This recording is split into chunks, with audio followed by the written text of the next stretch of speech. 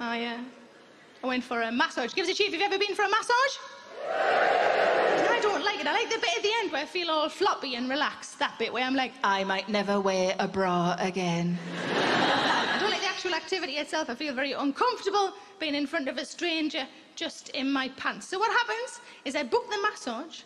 I get so stressed and tense on the build up to the massage that the best she can do at the massage is get me back down to the level of stress I was at before I booked the massage.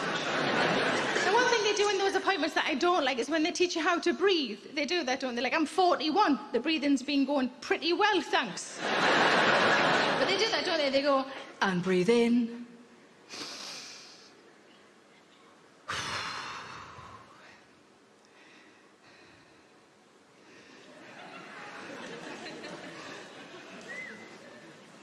And breathe out. I could have died, I could have died if I'd waited for her. The last massage I had, she said, This is an aromatherapy massage. I said, That's correct. She said, I've got three different oils. I want you to smell each one. Pick the one you like the best and we'll use that one. I said, Champion. She, unscrewed the lid off the first one. She wafted it in front of my nose. I said, Is that eucalyptus? Eucalyptus. Is it eucalyptus? Like a menthol? Like a menthol? Is it menthol? Is it menthol? Is it menthol? Is it like a mint? Is it mint? Is it mint? Is it mint? Is it mint? She said, You don't have to guess what it is. She in front of my nose. I said, Is that lemon? Is it lemon? Is it lemon? Is it lemon? Is it like a citrus? Like a citrus? Like a citrus? Like a citrus? Like a citrus? Like a general sort of citrus? Is it grapefruit? Is it grapefruit? She said, It's not a quiz. Third one, she wafted it in front of my nose. I did like it, but I didn't know what it was, and I said, I'll have that one. She said, Good. She read the label on the bottle. She said, That's happy. And I thought, No, I was never going to win the quiz, was I? Now, my worst bit of a massage is a bit in a full body massage where they make you turn over on the table, because the tables are very narrow, and I am not.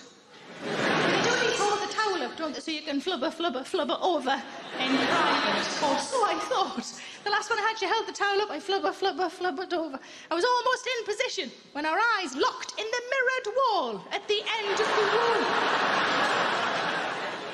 My friend said to me, that's not my worst bit of a massage. I said, what's your worst bit? She said, I don't like the bit where they pull your knickers down a little bit. I said, well, they'd have to do that with me, otherwise they wouldn't get half me back.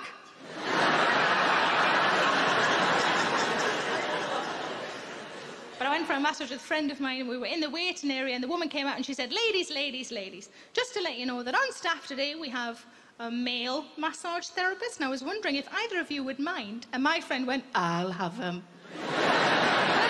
I said, look, you're single, you can always have the bloke if you want, but just let her finish her question first.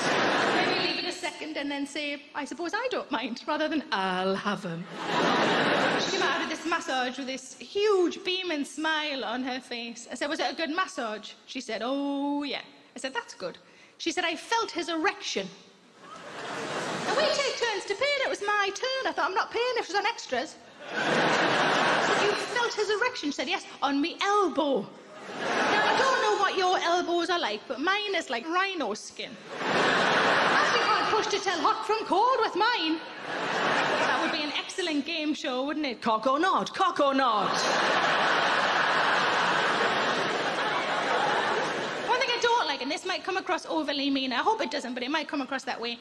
I don't like a skinny massage therapist. The one I use at the moment is about my size, maybe a little bit bigger. I don't like the skinny ones. They've never said anything to me. But in my mind, when they're massaging me, they're doing this. Uh, uh, uh, Gonna need more time. It's a bigger surface area. And the whole time I've been in massage, there's monologue going on up here. Outside, I'm the picture of composure, but in here, it's going crazy. And it depends on where she starts. So if she starts at the bottom, I'll be like, oh, tickly feet, tickly feet, tickly. Oh, she's gone up to the bit. I've got broken veins. I don't like that bit. Oh, too close to me, Fanny, too close to me, Fanny, too close to me, Fanny. so I'm lying there, covered in happy. Very different version of Snow White than we're used to, yes?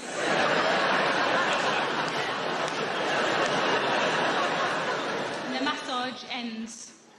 And she did what they always do. She, she put on like a chocolatey voice. They always do this, don't? And she said, just relax. There's plenty of time. There's no need for you to rush. Please just stay relaxed. There's so much time. I Just want you to stay relaxed. There's no need for it. Please just stay relaxed. What she didn't know is that I've been dying for a fart for 40 minutes. the door barely clicked shut when I let out the loudest, most tromboniest fart you've ever heard in your life. Remember,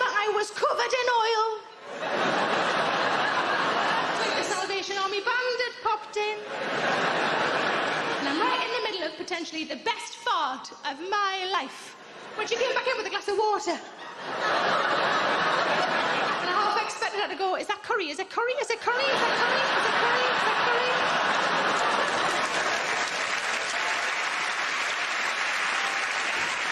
And if she had, I'd gone, no love, that's happy. Hello, it's Sarah Millican here. Please make sure you subscribe to my channel to stay up to date with all of my latest videos. Don't forget to like, pop a comment below, and why not stick around to watch a few more? I'm sure those emails or those dishes can wait a bit longer.